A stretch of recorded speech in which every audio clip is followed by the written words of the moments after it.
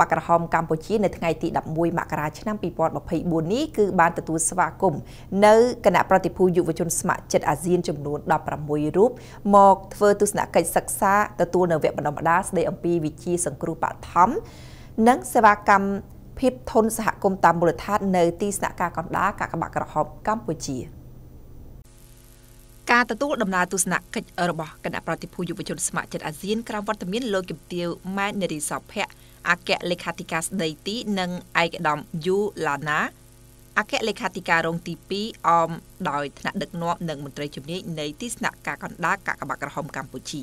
ជាកិច្ចចាប់ផ្ដើមលោកជំទាវអគ្គលេខាធិការស្ដីទីបានសម្ដែងនៅក្តីសមនស្សរីករាយនិងស្វាគមន៍យ៉ាងកក់ក្ដៅចំពោះដំណើរទស្សនកិច្ចសិក្សារបស់ ប្រតិភូយុវជនស្ម័គ្រចិត្តអាស៊ានដែលបានអញ្ជើញមកដល់ទីស្នាក់ការកណ្ដាលកាកបាទក្រហមកម្ពុជានិងបានផ្ដល់នូវឱកាសដល់មន្ត្រីនៃនាយកដ្ឋានទំនាក់ទំនងកាកបាទក្រហមកម្ពុជាឡើងធ្វើបទបង្ហាញស្ដីពីប្រវត្តិនិងសកម្មភាពការងាររបស់កាកបាទក្រហមកម្ពុជាទៅតាមយុទ្ធសាស្ត្រឆ្នាំ2021-2030ដែលធ្វើប្រតិបត្តិការទៅតាមវិស័យអតិភិបចំនួន4រួមមាន1ការគ្រប់គ្រងគ្រោះមហន្តរាយវិបត្តិភ័យនិងការប្រែប្រួលអាកាសធាតុ 2សុខភាពនិងការថែទាំសុខភាពក្នុងសហគមន៍3ការលើកកម្ពស់គោលការណ៍គ្រឹះតម្លៃមនុស្សធម៌និងវប្បធម៌អហិង្សានិង4ការអភិវឌ្ឍស្ថាប័ន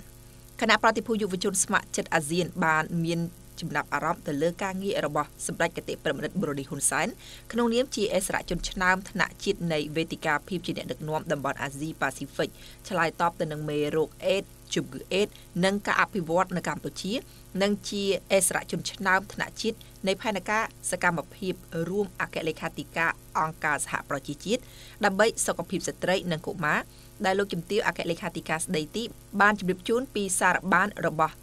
សម្ដេចកតិប្រមនិតបរូឌីហ៊ុនសែនបន្ទាប់ពីទទួលគោរមងារទី1នៅថ្ងៃទី17ខែវិច្ឆិកាឆ្នាំ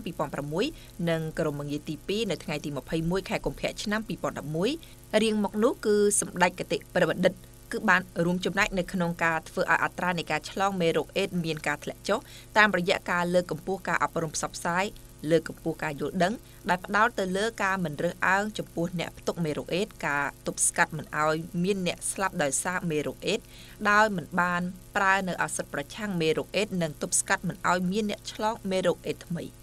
សូមជម្រាបជូនផងដែរថាបន្ទាប់ពីកម្មវិធីជួបសម្ដែងនៃការគូសំនិងសម្ដែងសម្ដាររួចមកប្រតិភូយុវជនស្ម័គ្រចិត្តអាស៊ានទាំង16រូបបានទទួលវគ្គបណ្ដុះបណ្ដាលស្ដីពី